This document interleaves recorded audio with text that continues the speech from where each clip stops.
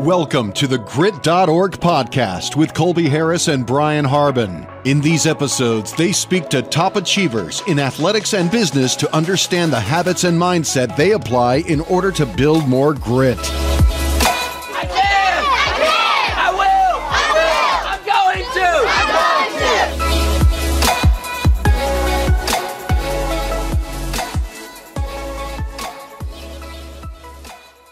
Welcome back to the Grit.org podcast. My name's Colby Harris. Alongside me is Brian Harbin, and we're here with today's guest, Rachel Pienias. Rachel, thanks for being here today. Thank you for having me. Very excited. Absolutely. A little bit warmer weather here than you're used to up in New York, so I'm sure you're enjoying it this time of year. Soaking in while I can. Yeah, back to uh, a little cloudier, a little rainier. It's actually raining here today, which is I super know. unfortunate. You know, well, it's been nice every everything else besides today. Well, good, good. We're excited to have you here today. So, Rachel is the co founder of Roots Marketing Agency. She's a former Florida State University cheerleader. We're going to talk all things sports, entrepreneurship, marketing, social media content creation. So, Rachel, I'll go ahead and kick it over to you. Tell us a little bit about yourself and what it is you do.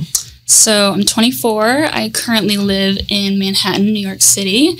Um, I'm a co co-founder of Roots Marketing Agency. We specialize in social media management, but we also provide services like so, uh, excuse me, like email marketing, and we do content shoots for clients that are in the area. But we do all things social media to best represent businesses online for all their services and products. In a nutshell. I love it. And where uh, where did the name Roots come from? So we get that question a lot, and it's funny because we were bouncing around with like a million different ideas, and I honestly couldn't even tell you what the other ones were. But we were, came to the conclusion of roots, as in a business needs to know their roots in order for it to grow. Like you have to know what your core values are, what's your mission, what are you actually trying to do, so then you can best represent everywhere else. Because if you don't know what you're trying to do, like it's it's a lost cause. Yeah, no, absolutely. I, I like that. And and speaking of kind of to the roots, so tell us about growing up. I think you're born in Chicago, Yes. grew up in Tampa, and uh, tell us a little bit about that and any defining moments growing up as a kid. Um, defining moments. Well, yes, my whole family on both sides from Chicago. My family was the only one that left Chicago for like the longest time. So we were always taking trips back up there. Moved to Atlanta for a little bit, then to Florida, which we were, my family still lives there, in Tampa for 15 years. We were pissed when we moved to Florida. Me and my brothers were like, this is horrible. It's so hot all the time.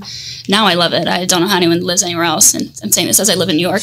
But, um, Defining moments, I would say just moving in general. Granted, I was younger, but I appreciate it more now. Just getting more experience in new places, meeting a bunch of new people. Like, I still have connections in Atlanta and Chicago. And I feel like people that haven't moved a bunch, everything is a hard adjustment because they have never done anything like that before. And now making my decision a year ago to pack up and move my life to New York, where I don't know literally anyone, to everyone else was like, "What are you doing? Like, are you scared?" I'm like, honestly, like I'm excited. I don't know. I'm just gonna figure it out when I get there, and it's been great. So no complaints there. Yeah, I've, I haven't had a chance to go up there yet. I haven't been to Chicago other than the airport. You have to go to Chicago. I've always heard it's kind of like a hub, especially in the It's U.S. I mean, I'd probably like top ten cities to, Oh, to sure. visit or to be in. I was actually lived in Atlanta for a little bit, North Carolina as well, and then I moved to Florida when I was in sixth grade. So Ah, I can yeah. share that what you learned from moving. Yes. When you said that, I was like, Psh, we got that going because Yes, we talk about that all the time. I have three siblings, and we're like. What would it have been like if if we didn't move, if we didn't go through it? Because we're all super sociable now. Yeah. I love to talk. like to I can't imagine staying in this. And people, I'm like, you've lived in that house your whole life. Like you've known. Oh, Jesus Christ. Sorry about that. Um, but yeah, like I, I couldn't imagine. I appreciate moving and all of the things, but yeah. And early on, did you have an interest in cheer or was it sports in general? Do you, do you have siblings as well? Yes. So I have two brothers, one older, one younger. My family, like our core values are sports. We joke that our parents aren't our parents, like they are our coaches. We are members on the team. My whole family calls ourselves Team Pienias. We are the home team. We all were in a bajillion sports. I did everything from soccer, track. In order to get a cell phone when I was in middle school, I had to make the basketball team. So that happened. I played basketball for a little. Um, cheer was the last resort. I was playing tennis for six years, and my mom still to this day plays tennis like in a league all the time, every day. And she, both my parents, kind of sat me down. and Were like, Rachel, we'd rather be on the team than cheering for it. I'm like, picture this, it's its own team, and they're like, Sure, sign up. You're gonna hate it. Whatever. We'll we'll dodge the bullet later. I loved it. Had the best time. Sent sent the papers over to my mom. Was like, okay, like signing up for the next year, and she's like, are you serious? And I was like, yep, we're doing it. Into it. So yeah, sports was huge for everyone in my family, and going to FSU was awesome because my parents were like college part two. Like they went to every game and were up every weekend. It wasn't even for me. It was just like be back in college for the most mm-hmm. part. But yeah, sports is a very very big portion of everyone in my family's life. Uh, it's great, and um, yeah, I've got a. We have a couple. Uh, you know, our cousins' daughters are really, really big in, into cheer. So, um, yeah, I mean, it's you know, it's very acrobatic, very competitive. Um, I did gymnastics for a while, so I have a, Oh. a whole newfound respect for it. That was early on. I got humbled. I was probably like eight Yeah. years old when I got into it with a couple of the girl classmates I had and stuff. They're like, come try it, open gym and Mm-hmm. Oh yeah, whatnot. open gyms. Two, three months in, they were asking me to do too much. I'm like, I'm not ready to break my neck Yeah, for it's a little scary too. I think that's why I liked it so much because not that I was like the best person at every single sport, but I was like honestly better than most at like everything I tried. Not that it was like easy, but I don't know. Like I like being in a team, but I also like the individual aspect of cheerleading. So like when you're tumbling, it's only you, but then when you do stunts, it's everybody. So I like that it was a little bit of both because when it's only teams, I'm like, I did amazing and we still lost. Like this sucks. But then when it's only me, I'm like, I have no one else to blame. Like I'm the only one that screwed up at this, and uh, that was yeah. So cheer was good, good outlet for both. Yeah. So tell us why Florida State? How'd you choose Florida State? So that's always a funny question because I feel like anyone that sees me or knows me, like FSU was all around me, and it seems like I was the biggest FSU fan forever. Not even close. Um, no one in my family went to like a huge state school, so like we never had like a team we were always rooting for. And then I'm Florida. I'm applying to colleges. I had no idea what I wanted to do. I didn't know where I wanted to go. So I was kind of just like putting out feelers everywhere. But then I decided I wanted to cheer. So I'm like looking at cheer schools, places that people had went that I knew. And truthfully, FSU, the girls that I knew from my cheer gym at home had like not good experiences. It was a lot different back in the day. So everyone was telling me not to go, number one. Number two, I wanted to go out of state so badly. I don't know why. I was just like, everyone's going to go to FSU that I know. I want to start over. I want to like create my own life. So I was kind of set on Clemson. First, I didn't think I was getting in there at all. I had decent grades, but like, you never know. So when I got in, the acceptance letter, I was like, oh, we are in there because that true team on paper was easier to make than FSU. So I was like, if I get into the school, we're going. So then we go to FSU, oh, excuse me, we go to Clemson, and I was actually the very last person cut from the Clemson tryouts. And that was the tryout that was still during while I was in high school. It was like the weekend before we were graduated and stuff. So everyone knew I was going. Everyone knew I was trying out. I get back to school. My principal stops me in the hallway. He's like, how'd it go? And I was like, well, um, yeah, I didn't make it, so that was fun. But so when that happened, I didn't know what I was gonna do because my parents were like, "Well, do you still want to go to Clemson? Like, we'll send you there, but like, what are you gonna do?" And I was like, "They didn't want me. I'm not going." And so then the other schools I applied to were honestly just random. I was like, I'm not gonna spend a crap ton of money to go cross country for no reason. So then I get to FSU for tryouts. I'm like, okay, if I make the team, like it's just a sign. It, it'll all do what it needs to. And surprisingly enough, I made that team, which was immensely harder to make than Clemson. And everything happens for a reason. It was the best four years of my life. Met all my best friends, and I wouldn't trade it for anything. And I've visited Tallahassee a few times. I can definitely say it's a good time to get Oh, over there and Yes. go to the stadium. We had a someone we went and watched. They were playing actually for Samford, but I went to a Samford Tallahassee Oh. Okay, yeah. FSU game, um, and it was awesome. But do you have any favorite memories from that time at FSU, or, or maybe it was within cheer as well? it was definitely within cheer. I I can't even express how much fun I had at FSU. Loved my time there. School was amazing. Cheer was amazing.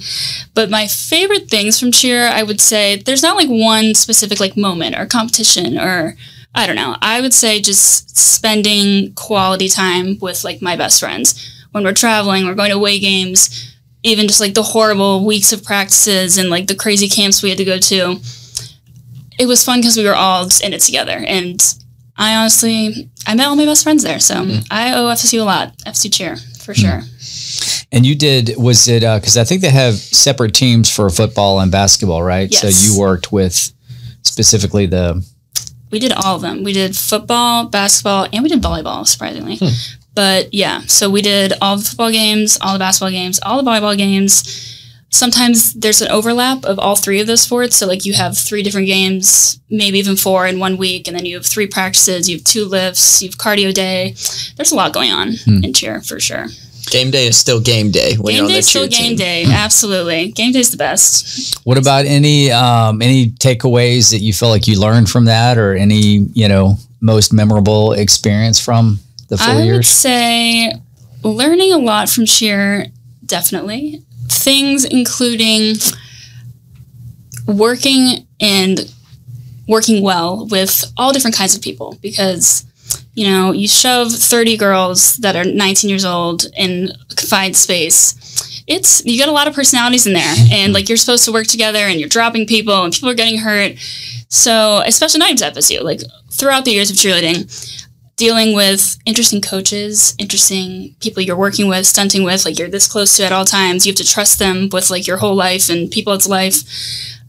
That was definitely an interesting task that I very much appreciate and does well with pretty much every part of life now.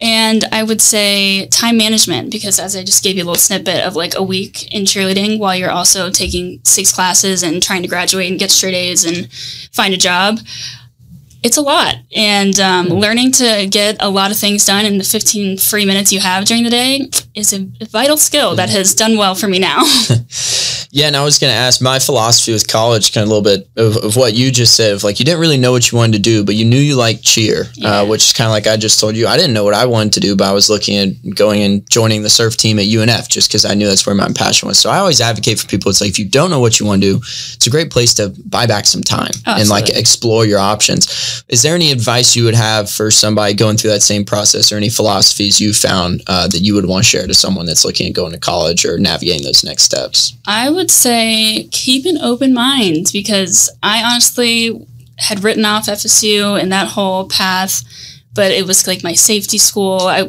was not on my radar. You never know what the opportunity that lies ahead of you can hold. And testing different things out. Like once you get to a college testing classes out different routes of industries you could go into. You don't know what you don't know so you might like something you never thought of. You might not like stuff you thought you were going to like so having an open mind is definitely important. And you're only 24 now, so I'm assuming that Roots Marketing Agency was either in the back of your mind or front of mind when you were first leaving Florida State. Tell us more about those next steps once you graduate, whether you were going all in on the business right off the gate, why or why not. Just tell us a little bit more about when you were first graduating and what the plan was. So, um, yeah, it was an interesting time to say the least. COVID was happening, so that was a whole other situation that no one knew how to navigate. So, honestly, I give a lot to COVID because although it was probably the worst time ever for everyone in the world, but I had no idea what I wanted to do. And people would ask me, and graduation's approaching. I'm like junior year, going to senior year. People were like, so like, what are you going to do? I'm like, I have literally no idea. I haven't even thought about it. But if that didn't happen, I probably would have, you know, just went to the career fair, got a job, sales probably. But as senior year was happening and our friends are doing just that, me and Jenna, my partner, we're like, I don't, I don't want to do that. Like, I don't want to get a random sales job and move across country and sell, I don't know, some IT product that I don't care about. Well, some people do it and do it really well, and they love it. More power to you. I did not want to do that, so we were like, we just needed one idea. Like, what could we do to get things started? I was helping with social media for the cheer team. Jenna, my partner, was on the dance team at FSU. She's helping with their social media. Both of us had jobs outside of cheer. So we were kind of helping with their social media and stuff. And we had literally seen a TikTok um, of this woman, and she was about our age, and she was saying she started this marketing agency doing exactly what we're doing. And she's making like crap ton of money and we're like we could do this you get paid for this so that's kind of how roots was born and so we didn't really tell too many people while we were like kind of behind the scenes, like looking up how to get an LLC, like what's a domain, all those kind of things. And once that was all kind of wrapped up and ready to go, I can't even lie. I was I was the one that was like very apprehensive. I was like, I don't like we don't really know how is gonna go. We're gonna tell everyone that we like started this whole business. I don't know. I had then started working part time for my dad's insurance company right after we graduated. We launched the business April Fool's Day of all days, actually, right before graduation. But so we were doing that. We had a couple clients lined up, but it was kind of half that, half working from Tampa still. We just graduated with my dad's uh, insurance company. And um, for a while, like it was good. And I still do marketing for my dad's and company, but it was I was having issues with balancing. Like when you're kind of half in a lot of things, you're kind of not doing much of anything in the grand scheme of things. So I had to take a step back and be like, okay, we're not getting anywhere here doing this. So you're either going to have to like go all in or opt out and find something else to do. So that was kind of when I made the decision of, all right, I'm going to do this for real. I also started modeling a little bit on the side. So I signed with a modeling agency in New York. So my partner who lives up there, she was begging me to come. She's like, just move up here. I'm like, I'm just going to pick up and move. So then between deciding I wanted to do it full time, like go all in, and then I signed with the modeling agency, I was like, literally everything is pointing to you need to go to New York. Once you get there, if you hate it, we can reevaluate then. But again, you don't know till you go. So I went, and that's kind of how it all came together. And that was really the catapult of our whole business and getting things rolling because we went from like maybe five clients. And now we have like 25 and growing and employees but yeah i was i was a slow mover. If we did not have jenna this this company would not come to be that is for sure. Yeah well it sounds like you guys complement each other well and i think having sounds like you guys were friends in college which is a good base and then um, you know, going up to New York. So tell us about kind of once you got up to New York and, you know, like you said, you had a couple clients with the cheer team and the dance team, but you know, how did you prospect for new clients or, you know, I'm, I'm guessing some referrals there, but even then, how did you go about getting referrals and, and expanding from five up to 25? Yeah, so that was an interesting task, and people ask us a lot. It really, it's a numbers game. You know, you gotta, you can't be upset about the no's because there's gonna be a lot of them. We were on platforms like Upwork and Indeed, like freelancer websites kind of things. So you go on there and you can see companies that are looking for a social media manager, mm excuse me, a digital marketer, they need help. So you already know they have the need, and then you just start sending proposals, copy and paste, like as many as possible. I don't even know what the number would be of how many people we had reached out to. But yeah, it was cold calling, emails, messaging them on social media, walking into businesses that we already went to, like around where we live. Um, it was a little different for Jenna and I because Jenna is from New Jersey. So her family, like, she's a lot of ties there. She knows a lot of people. Her parents are very well connected. So thankfully, they gave us a lot of leads and like spread our name everywhere. So that was nice in the beginning because they fed us a lot of companies to work with. But while they definitely gave me some, like, by all means, that was kind of Jenna's scene. And then I show up and I'm like, I don't know literally anyone here. And I was the apprehensive one, so I was like, "This is gonna be this is gonna be interesting." But um, something about moving to a different city where you don't know anyone that was kind of like a freeing scenario. Like I felt felt like I could walk in anywhere and start handing my cards or talking about my business and not feeling like they're judging you or like they have preconceptions of like what you should be doing or they know like what you do or how you should have been doing. So I would say it was definitely interesting moving there and not knowing anyone, but the way we, we really got things going was swallowing our pride and sending out as much information to everyone we could. Mm. And things stuck. After a while, it's a numbers game. Mm.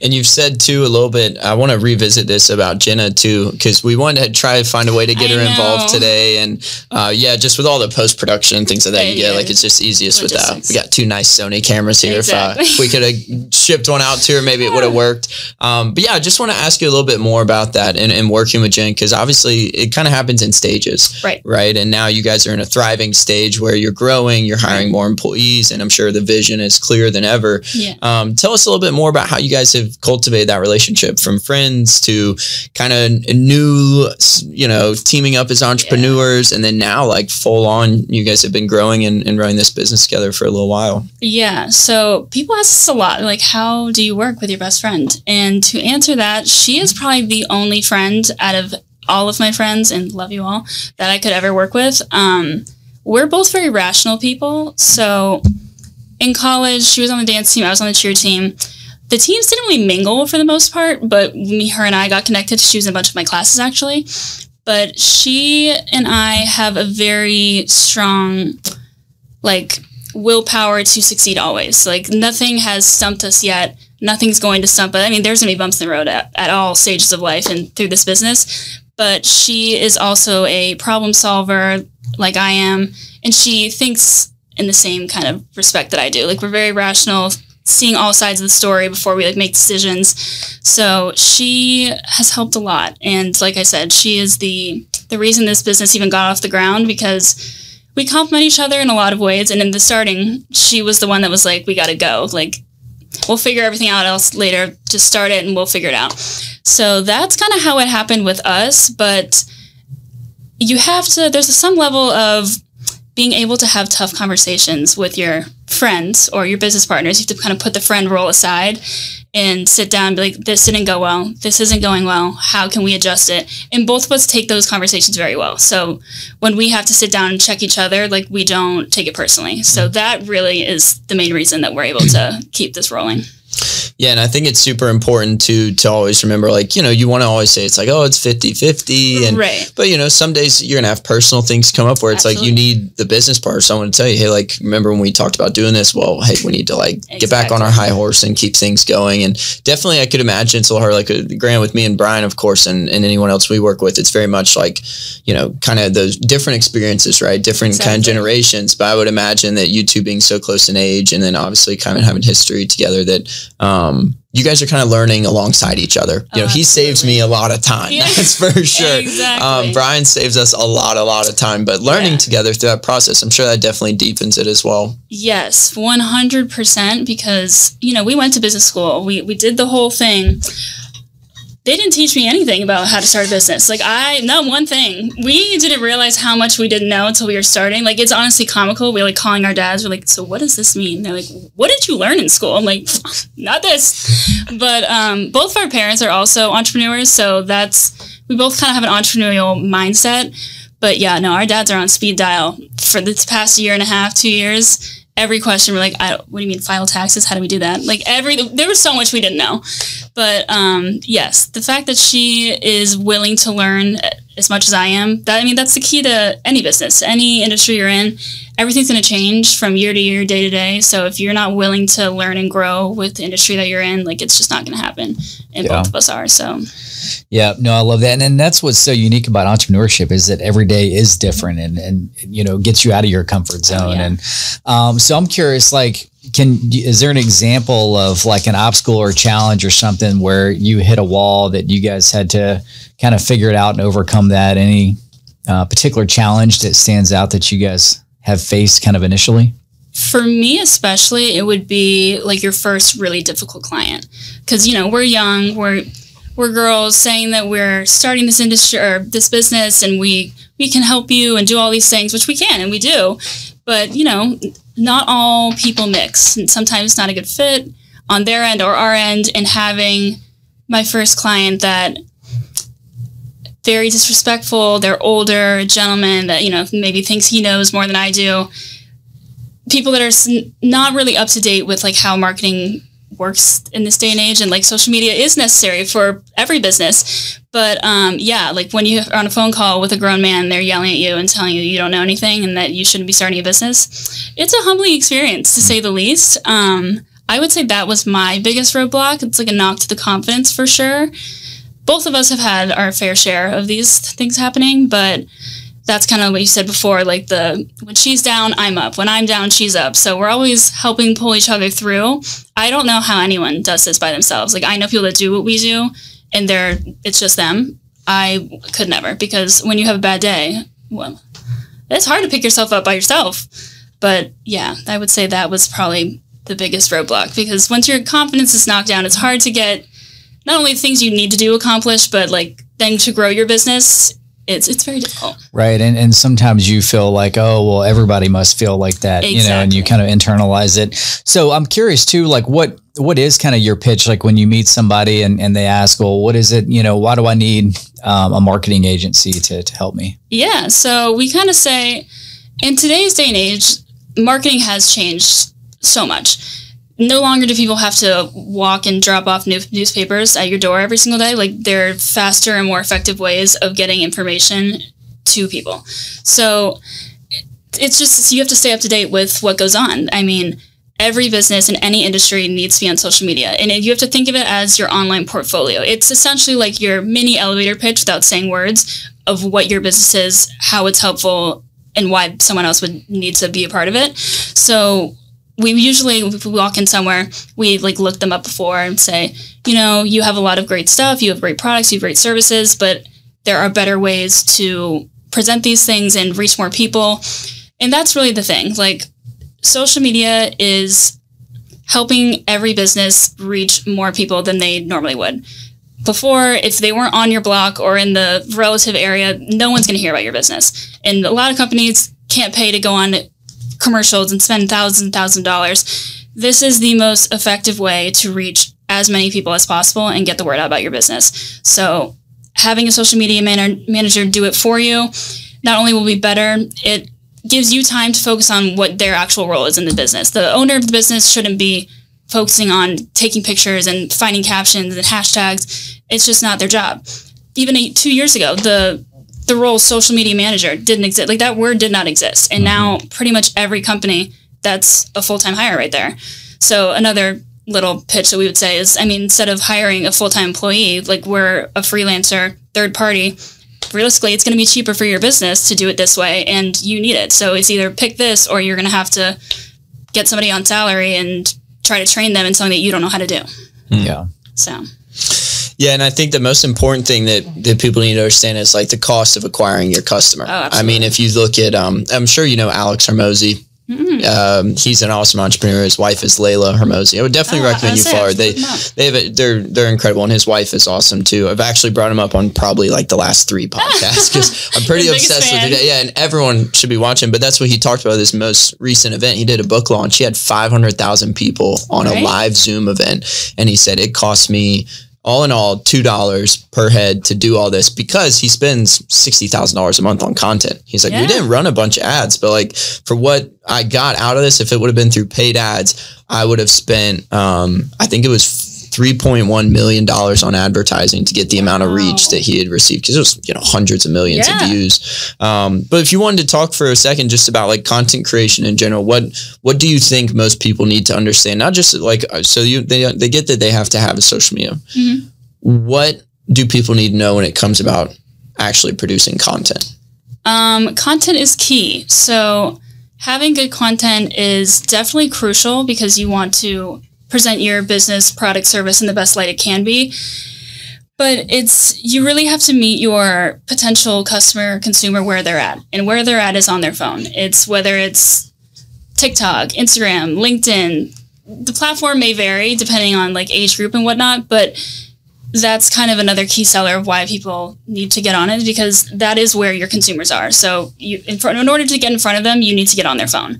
So that's number one. But I would say remembering that it is your online portfolio and if somebody didn't know anything about your business and somehow end up on your page, would they be able to figure out who you are, what you do, and how to get in contact with you? Those are the three most important things. And then lastly, I would say equally as important is consistency because the start of anything is it's slow rolling for sure, but you don't know what's going to happen until you keep at it. And the more you put more, the more you produce the more your reaches and the more eyes are going to be on your page your name getting in front of you know consumers. And they say it takes seven times for you to promote something or for somebody to see your company's name for them to then make any sort of action. So seven is a lot honestly but mm-hmm. that just shows like you have to be consistently putting things out for people to take action anyway towards your business. Yeah I was uh, curious, kind of along those lines. You know, is there a different rule of thumb depending on the platform in terms of how often you should post? yeah, so that's like the hot topic. Everyone's like, "What's the magic number?" There is no magic number, and everything kind of depends on the type of industry or type of product you're promoting. Type per se, but I would say normally we see the best results with like three to four times a week on Instagram TikTok is an interesting case where it's not as much the quality of your content, it is the quantity. So I mean, this is a rule of thumb pretty much for all platforms. They, it's designed for you to stay on the app. Like you will get rewarded for the more you use the app. So the more you're posting, the more you're engaging with other people, your post will then be promoted on the algorithm to be pushed out to more people. So the more the better, truthfully. Yeah. And then, so with these customers, I know you said that you're kind of putting the uh, the content out there. So, do you where do you get like your footage and, and pictures? Like, do you go get a bunch initially from them, or do they send it to you and then you work with what they send you? It's a little bit of both, okay. depending on if the client is like in our area. We provide content shoots, so we get the photographer, videographer, we make the shot list, we show up, take photos and videos of literally everything we can to ensure that like we have enough to use mm. to then create the content, edit the videos, make all the graphics and whatnot. But if the client is not in range, um, yeah, so we start off saying, send us over everything you have, like branding, all your logos, any and every picture or video you have that somewhat relates to your business and then we go from there. And then if we do run out, we help them then create their own content shoot so they know what to do. We can get everything we need and go from there.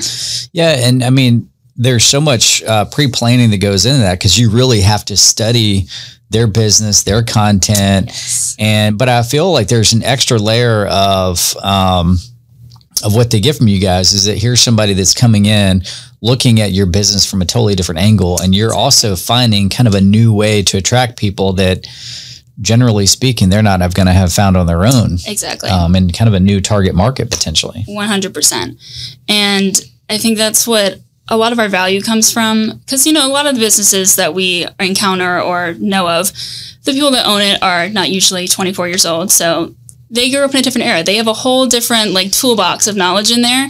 So not only are we like coming to help promote their business and whatnot, but yeah, we have new and innovative ideas of, to do so that they wouldn't get on their own. But yeah, definitely it keeps it interesting. And I would say being young and right out of college and kind of at the boom of everything changing right now, it gives us like a little edge compared to other agencies that have been marketing forever. Exactly. Yeah. I mean, I love the the fresh eyes concept. I mean, there's even times I ask my 11 year old, I say, Max, what do you think of this? And it's like they say something and it's actually really profound of yeah. like, wow, I never even thought of it that way. Yeah. You know? like and every uh, call we go on, I swear people are like, so I was asking my, my 16 year old daughter and she said that we had to talk to you guys because yeah, I don't know anything she's saying and she keeps telling me things to do and I have no idea how to do them. Like mm. she's probably right.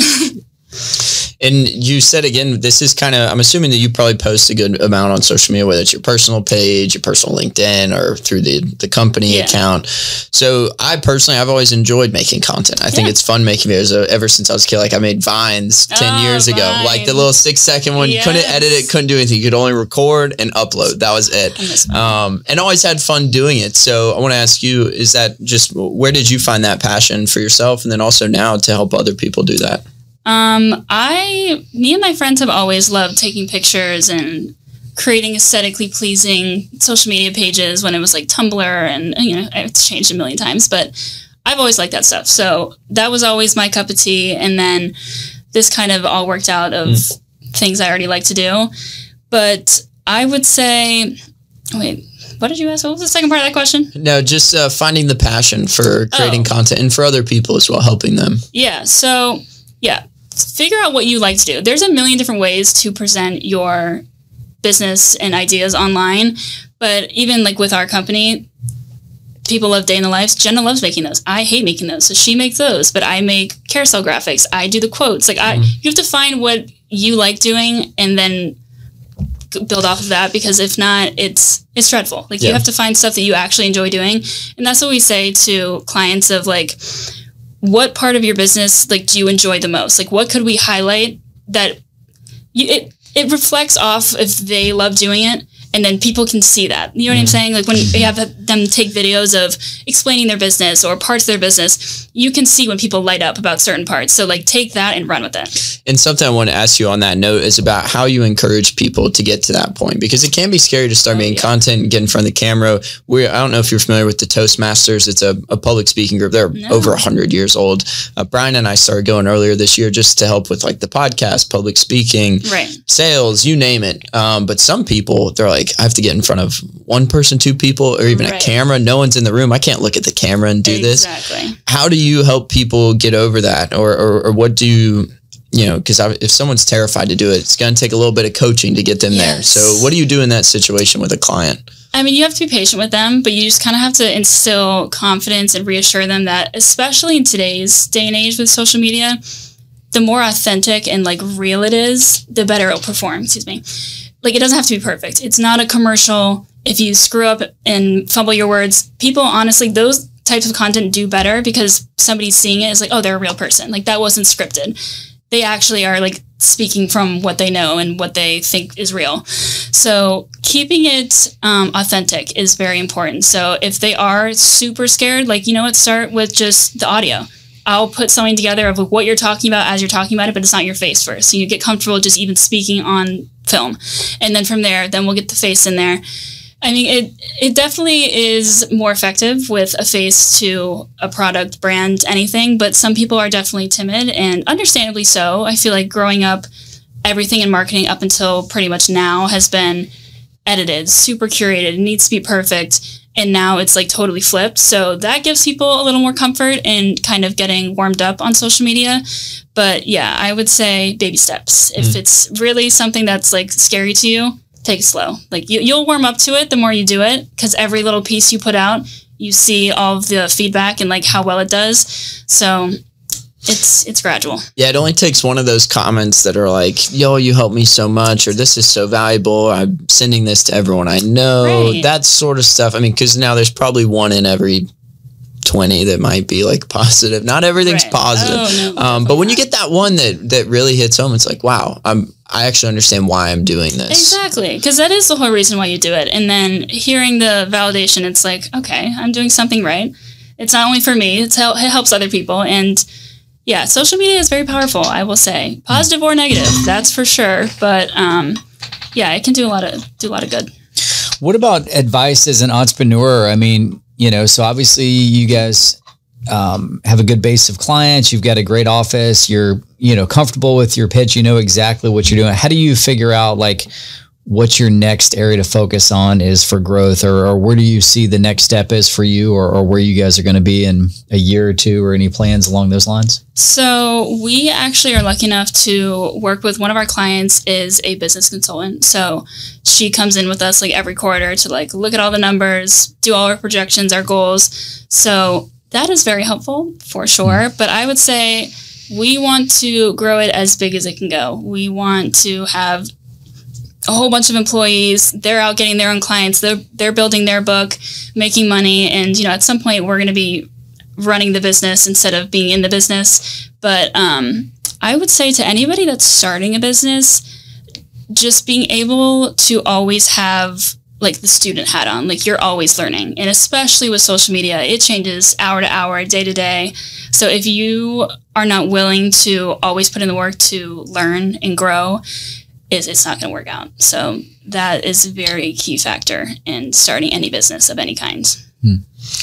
Yeah, and that applies to us even. We've had uh we've been kind of going to the drawing board a little bit with our content lately of just like, hey, you know, some of this was really popping off like every Mm-hmm. day it was like guaranteed uh thousands of views, like just Yeah, guaranteed because it was exactly. we knew what we were The rolling with. rolling. Yeah, like mainly with the podcast clips and how I formatted them and stuff. And then sometimes recently I'm like, mm, that was like in my head, that was a good video. That happens all the I knew that was going to be a decent one. It did Yeah. nothing. Uh, so kind of trying to keep that on, just like you said, is, has been super important. Something Yes. I'm sure you have to remind yourself sometimes as well. Yes, and like a bunch of our TikToks, it's like kind of our personality on social media, but it's like joking around, being like, a post that I just spent three hours making, that's gold, got like three views. Like, like mm-hmm. what happened there? But then you never know. You could repost it again in 10 days and it could have 3 million views. So yeah, it's, it's always, it's always changing. Yeah, and one of the things you said earlier, which we heard this in the beginning, and we've definitely seen it to be true as well. It's just consistency. Yeah. you know what I mean. It's you're not that you can't expect to put out two or three videos and want them to pop off. I mean, it's It's just forming the habit of doing it consistently. And at some point, if something does hit, then it actually helps everything previously that you, I mean, Exactly. look, anybody that made a Deion Sanders video in the last couple of years, Exactly. everybody's going back to watch it now. Right. Right. And so, not that, you know, any business is necessarily going to pop off like that to that extent. But the point is, is that it just takes one and Yeah. you don't know who's going to see it, where they're going to see it, who's going to share it. and that's know. why you have to post stuff that you actually enjoy posting because whatever does pop off that's indicating to you that people that you're looking to market to enjoy that piece of content. If you didn't like if you really don't like that kind of content you're going to dread making that for the rest of time. So you got to put out stuff you like and it's effective Yeah, definitely. We just had a bodybuilder from Tampa, Matt Grego, who you might not recognize his name. He just moved down there, so he Yeah, has, hasn't even been there a month yet. But we talked a lot about that. I mean, because now he has over a million followers across all platforms, Yeah. and he talked about going through that for a while. He was like, "Man, I just got to the point where like I knew what I liked making. It really wasn't what was hot. Tried Right. doing some other stuff, and then next thing I know, I didn't post for a month because I was like so burnt out on the content thing, just because it really wasn't what I enjoyed anymore." right Um, moving into another question, I want to ask you. So, like, you know, you got the business, you're fresh up to New York, you guys are thriving. You obviously have to dabble in leadership and getting the team going because Oh, you got all these other people under you. But for you personally, do you have any habits for success or daily routines that you try to incorporate to keep you level headed amidst all this madness? Yes, and it's funny you ask that because I'm such a routine person. Like I, when in doubt, like have to go back to my routine to like put myself in my zen per se. Mm-hmm. But my partner is like so not like this, so she willy nilly is fine all the time. And then when something goes wrong, she's like, just go back to your routine, Rachel. Like you'll you'll be better. So my routine is I need to work out. Like have to, have to. Probably ingrained, like you said, from my family in the sports, and I've always worked out. But that is like my release. Like it's it's it's my free therapy of getting everything out that I need to. It feels good. I feel good after. So that's number one for sure. And then I would say more recently, in the past like year, I've started journaling, which I kind of thought was like some woo woo and whatever. People are like, it helps. I'm like, okay. But now that I've been doing it, um, it does. I'm not gonna lie. That is a big factor here. That not only kind of gets everything that's in your head jumbled up on paper and like clears it out, but it um I like to write down the wins. Like I make sure to big wins, small wins. Because when you get in your ruts of like, I don't want to post for a month, like I don't, I don't like what I'm doing right at this very moment. You can go back and see like all the good things that have happened thus far, and kind of get your momentum back rolling. But yeah, that that's my, those are my two things that really have to happen for me to like stay in the zone and like stay focused and get things moving the way they should mm. be.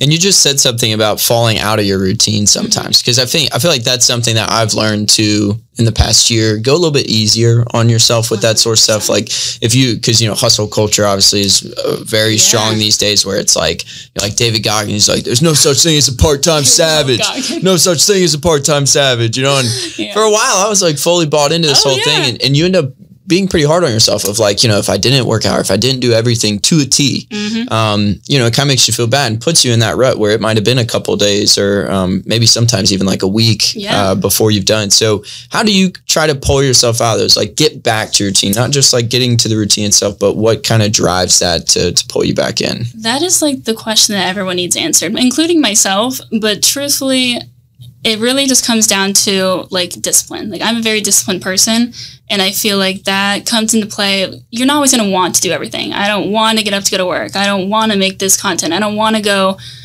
meet with this new potential client. But if you have the discipline, you do it anyway. That that's the only way to get it done. And then right when you get back to working out for the first time, you don't want to be there until you're halfway there and you're like, okay, like I feel a little better. Like honestly, this is kind of nice. And then the momentum starts rolling from there. It's really just scraping it together and being like, I have to, because it's one of those things you know that's going to help you, but you just don't feel like doing it. So you just you have to. You get up and you do it once, and then starts rolling again.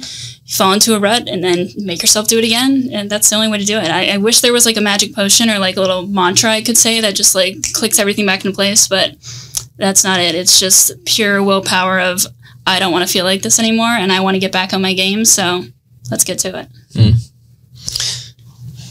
I've got uh, one more question I was going to ask you. So you're the the youngest female entrepreneur we've we've had on, and and I wanted to ask too, just for um, any advice you have, you know, whether it's um, that you would have as, as a you know female entrepreneur that's um, you know reflecting back anything that you are glad you did anything you wish you would have done differently anything along those lines that you could maybe offer as advice for anybody out there Yeah. So it's kind of all wraps into one of what we did versus what I wish I had done. Just start. Because I was the one, I was like, Jenna, like maybe, maybe in a month from now or like maybe next week. And she's like, we're posting it today. We're telling everyone we know. And I'm like, okay, let, let, let's do it, Jenna. But that's, that's the only way to do it. Like you have to. And uh, the longer you wait, the more in your head you get. So, like, you think you're like overthinking things now. If you wait three months, you're going to be in a whole other spell of all of these potential problems that could happen. But you don't even know what the problems are until you get there. So, like, start, you make adjust. Our whole mantra is everything is figure outable because it is. You start, you adjust later. If something comes up and say, they say, Can you do this? Yes, figure it out later. Because you, you will and you, you can. So, I would say just sending it because if you don't, it's going to eat you alive. Number one, and number two, you're going to regret not doing it. And if it doesn't work out, it's it's just not a, it's not a, it didn't work out. It's now an adjustment to something else, and you learned that you either didn't like doing this or this wasn't going to work the way you thought it was going to, but it pushes you into something else. So I am a firm believer. Everything happens for a reason. So start, and it will roll how it's supposed to. Love it Yeah, really overcoming that analysis paralysis. Oh God, it's the worst. You have to do it like a, f- a full send. I mean, you because if you kind of dabble in it, you're almost like leaving what you're trying to figure out still on the table. You're like, I'm going to avoid this portion of it because I don't know what I want to do yet. Um, well, it's been awesome having you here today. Go ahead and uh, before we roll into our last question, if you will, uh, go ahead and shout yourself out with all your handles, the business handle. If someone wants to work with you, how could they get in touch with you? Yes. So our Instagram is Roots Marketing Agency. Um, same thing on TikTok, pretty much every social media. It's just at Roots Marketing Agency. Um, on all the platforms, our contact information is in there, so you can just click a button. Our email is jenna.rachel at rootsmarketingagency.com. And yeah, Quick other question, because I think Brian will like this question too. I do have a question about your domain as well. You mentioned earlier you didn't really know anything about domains. yeah. It's Roots Marketing Agency. Roots Marketing Agency LLC. Ah, okay, the cool. official domain name. Nice. Yeah, I was kind of thinking about. I was like, I mean, if you Roots Marketing Agency by itself was probably like, I mean, that's pretty, pretty, like high acquired domain. I would assume like that would definitely draw a lot of attention. Um, or be that's your site right is rootsmarketingagency.com Yeah. say LLCs on the end or No, it's just Roots Marketing Oh, that's the business. I got Yeah. you. Cool, cool, cool. Yeah, that was, that was something. So was that out. going through that process a bit of a up and down, and um, or were you guys able to just scoop it up pretty quick? for somehow we were able that we just typed it in and it was available and we are like click do it right now literally i was like i don't know what this means but yes Yeah, yeah. We'll figure all the rest out again. Overcoming that analysis paralysis. everything's figure outable Well, like Brian said, that you've been our youngest entrepreneur in general, actually, to be on the show up to this point. So it really been awesome to have you in today. As you know, we finish everything out on the show asking everyone uh, what part of the Grit Creed resonates most with you and why. i loved the creed not gonna lie i would say the parts that resonated with me the most was that i am calm cool calm and collected i am mentally physically and emotionally resilient i love that because it's funny this is like called grit grit is like my word. Like hmm. that is the word that my parents used to describe me and then my other word is resilient because i feel like that encompasses like everything i'd ever want to be. Nothing has stumped me yet. Nothing's going to stump me in the future. Like we just talked about everything's figure outable it's not a no it's a redirection. So that's me in a nutshell and i, I love the creed. And just again, a little follow up what does grit mean to you exactly? Grit means to me it's like you're scrappy. Like you against all odds will figure it out. You will do anything necessary to get to where you want to be hmm. Love that. We always get a different answer. That's why I love I asking because it's like if you go by the book, everyone kind of knows the book definition, but they're like, ah, that's not like kind of made my own. yeah no literally like i don't know what the actual definition is but that's in my head what it is Scrappy. That's something I would. Put, I mean, I could honestly write like a half a book for a single Yeah. definition for it. right seriously But thanks again, Rachel, for coming on today. Uh, we'll attach all your handles and uh, we'll make sure send some clients over there to Roots Yeah. Marketing Agency. Hopefully, you're enjoying your trip down here. definitely That's a wrap today at the grit.org podcast. Be, to, be sure to check out all their socials. Visit rootsmarketingagency.com. Share this episode with someone you think it would resonate with or impact. As always, we appreciate you tuning in for another episode of the grit.org podcast.